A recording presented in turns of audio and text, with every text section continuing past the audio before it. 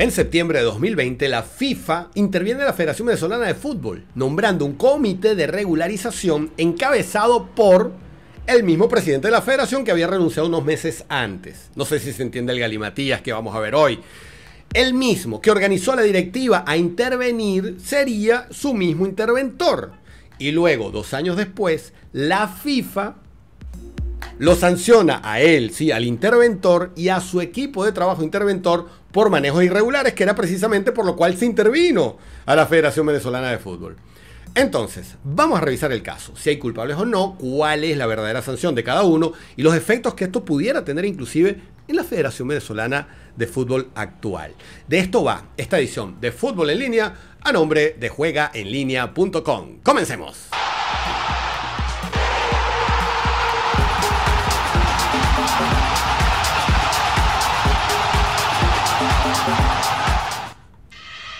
Hola, ¿qué tal? Mi nombre es Armando Naranjo, arroba naranjazos10, mi cuenta en Twitter, arroba naranjazos en Instagram. Vamos a revisar y vamos a tratar de explicarles a todos ustedes de qué se trata todo esto, porque es muy raro, pero el fútbol venezolano es así y tenemos que explicarlos para entenderlo, qué es lo que puede suceder y qué es lo que a continuación pudiera inclusive afectar a la Federación Venezolana de Fútbol. Eso lo vamos a hablar al final como conclusión y además tenemos la posible posición o la posición que habría tenido Laureano González ante tamaña sanción que le acaba de imponer la FIFA. Pues bien, vamos a pasarnos por acá y vamos a revisar los antecedentes porque tenemos que conocer de dónde viene todo esto. Pues bien, la FIFA en septiembre de 2020, hace dos años, compuso este comité de regularización de la Federación Venezolana de Fútbol conformado por, atención, su presidente, señor Laureano González, los demás miembros, Bernardo Añor, Luis Eduardo Fernández, Gilberto Velasco y Carlos Con tres funciones claras muy bien definidas por parte de FIFA. ¿Cuáles eran?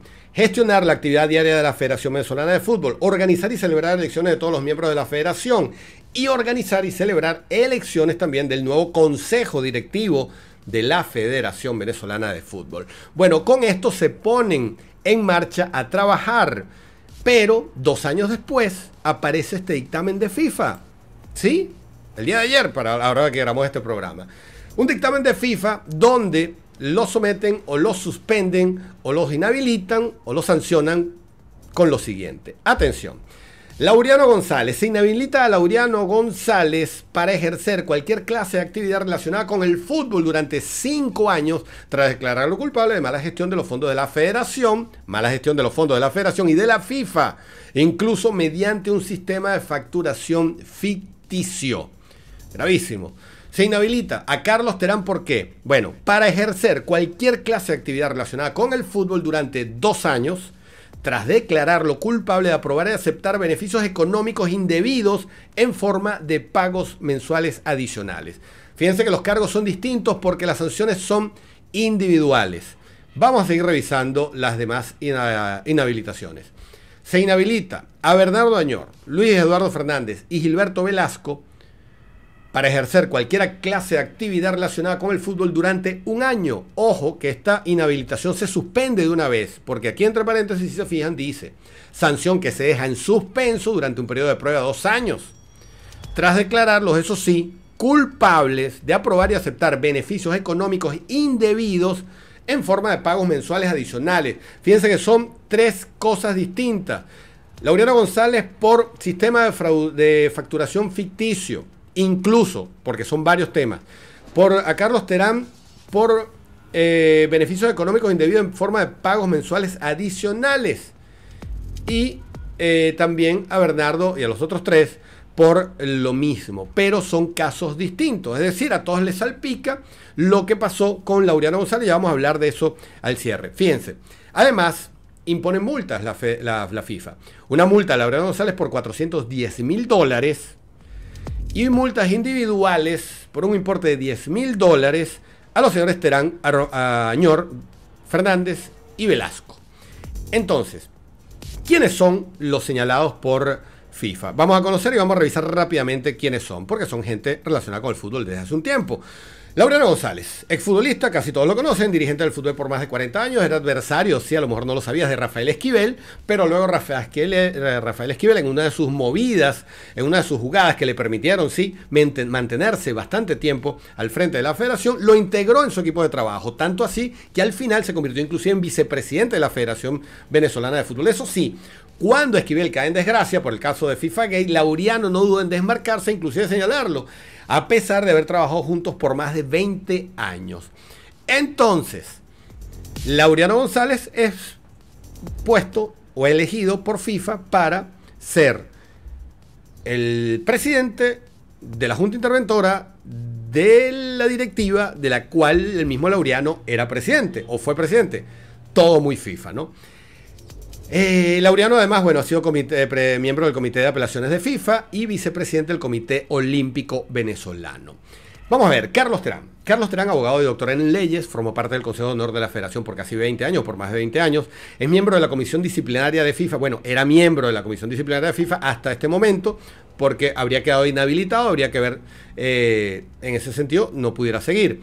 Bernardo Añor. Bernardo Añor sí es un conocido exjugador vino tinto, histórico, porque formó parte del equipo campeón o de los medallistas de oro eh, de los centroamericanos y del Caribe de 1982. También jugó con la vino tinto en los Juegos Olímpicos de Moscú en 1980. Después que se retiró, retiró del fútbol, formó parte de varias agrupaciones o movimientos que tenían el objetivo de lograr cambios en la Federación Venezolana de Fútbol, sobre todo en el tema ético, moral y de honestidad dentro de la federación. Fue llamado entonces por Laureano justamente por eso, viendo en él un tipo independiente que podía formar parte de un comité regularizador y que necesitaba una persona del, eh, de la... De la ¿Cómo les digo? Sí, de la fama que tenía eh, Bernardo Añor como un tipo reconocido y correcto. Ahora, él lo aceptó también como una oportunidad justamente para poder hacer algo por el fútbol venezolano. Y ahora sale salpicado con estos temas que ya vamos a revisar al final más adelante. Gilberto Velasco. Ex general de división de la Guardia Nacional, fue futbolista amateur, ha tenido cargas de relevancia fuera del fútbol, como encargado de la represa GURI en algún momento, director de seguridad de la gobernación de Bolívar, cargo que lo conecta finalmente con el fútbol, porque de ahí forma parte, forma, eh, forma parte, no, va a formar parte del Mineros de Guayana como presidente de Mineros de Guayana. Ahí entonces arranca su relación con el fútbol, Leonardo González lo convierte en oficial de seguridad de Conmebol hasta el día de hoy, y con FIFA se convirtió también en oficial de las eliminatorias suramericanas, oficial de seguridad me refiero. Luis Eduardo Fernández. Luis Eduardo Fernández, administrador especialista en finanzas y comercio internacional, expresidente del Deportivo Petare, exdirector de la Bolsa de Valores de Caracas, pero llega al comité de regularización eh, luego de hacer el curso de FIFA CIES y ellos lo recomiendan eh, con FIFA para que formara parte del comité de regularización. Ahora, hay un detalle adicional, es hijo del político venezolano Eduardo El Tigre Fernández. Ahora bien, vamos a revisar un par de cosas. Empecemos por concluir lo siguiente. Son sanciones individuales. Resumen, Lauriano tiene juicio por parte de la FIFA por varios temas. Por lo mismo que el resto, pero por varios temas solo para él. Y por eso tiene la multa de 410 mil dólares y además eh, la inhabilitación por 5 años. Terán, por su parte, comparte una de las acusaciones a Laureano y va a tener una inhabilitación ya activa de dos años. Y los otros tres, Añor, Fernández y Velasco, la inhabilitación está suspendida, es decir, no están inhabilitados, pero sí tienen una multa de 10 mil dólares. En este sentido, ¿son culpables o no son culpables? Bueno, parece, según lo que me informan, Fernández, Añor y Velasco no estarían culpables pero sí estarían salpicados porque formaban parte de esto. Habría que ver si un tema de omisión, no lo vieron, eh, no lo ejecutaron, pero estaban ahí. Entonces la multa es pequeña, ellos pueden apelar. No se sabe si van a apelar en este momento, habría que ver porque la apelación pudiera salir muy costosa. Entonces súmale la apelación más los 10 mil dólares que tienen que pagar si no la ganan, pero a lo mejor apelan o podrían apelar porque si no son culpables, ese antecedente les mancharía su carrera dentro de la dirigencia del fútbol. Habría que esperar entonces si ellos van a apelar o no. Con respecto a Laureano González, hay que decirles algo que no es un tema menor. Laureano González ya se ha...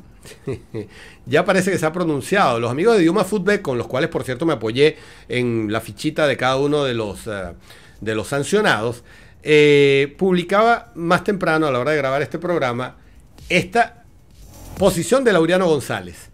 Yo no voy a pagar esa yo ya estoy retirado, según Idioma Fútbol, sería la respuesta de Laureano González a la sanción que le está imponiendo la FIFA en este momento. Ahora, para ir terminando, les decía, ¿cómo puede afectar esto a la Federación Venezolana de Fútbol actual? Bueno, pudiera afectarle, pudiera generarle ruido por lo menos. ¿Por qué? Bueno, porque este comité o estas cinco personas que conforman el comité y que hoy están siendo sancionadas de manera individual, fueron los encargados de montar las elecciones, de organizar las elecciones en las cuales ganó la directiva actual. Elecciones que fueron muy fuertemente denunciadas por Jorge Silva y su equipo de trabajo, el equipo de campaña de la otra plancha que era contraria a la plancha de Jorge Jiménez. Entonces, no sabemos si FIFA vio también este tema en, a la hora de sancionar. No sabemos si esto forma parte o no sabemos si a la FIFA le hace ruido o no que unas personas a las cuales ellos están sancionando por manejos irregulares también tengan o no que ver con manejos irregulares denunciados por la plancha contraria a la directiva que hoy está colocada en la Federación Venezolana de Fútbol por manejos irregulares por una de unas elecciones que estaban organizadas por justamente los sancionados hoy. Entonces, ¿hace ruido o no hace ruido? Lo podemos ir conversando porque aquí ustedes tienen siempre la última y principal palabra en este canal. Hasta aquí esta edición, espero haberles podido explicar un poco el eh, panorama que pinta todo esto alrededor de todo lo que tiene que ver con la dirigencia del fútbol venezolano que siempre está siendo señalada nacional o internacionalmente ahora. A nombre de juegaenlinea.com, el lugar más seguro para divertirte, te invito a que te registres porque tienes el código naranjazo aquí abajo y puedes recibir 10 dólares como bono de bienvenida si te registras con el código naranjazos en juegaenlinea.com, el lugar más seguro para divertirte. La invitación también a mis redes sociales donde permanentemente podemos estar en contacto. Arroba naranjazos 10 en Twitter y arroba naranjazos en Instagram. Da invitación también a que te suscribas a este canal para que sigas recibiendo contenido vino tinto como este todos los días y agradecidos con todos aquellos que comparten todo esto para que más gente se entere de qué va esto y por supuesto los que dan like porque ayudan a que esta comunidad siga creciendo todos los días. Nos vemos en una próxima edición de Fútbol en línea a nombre de juegaenlinea.com. Nos vemos.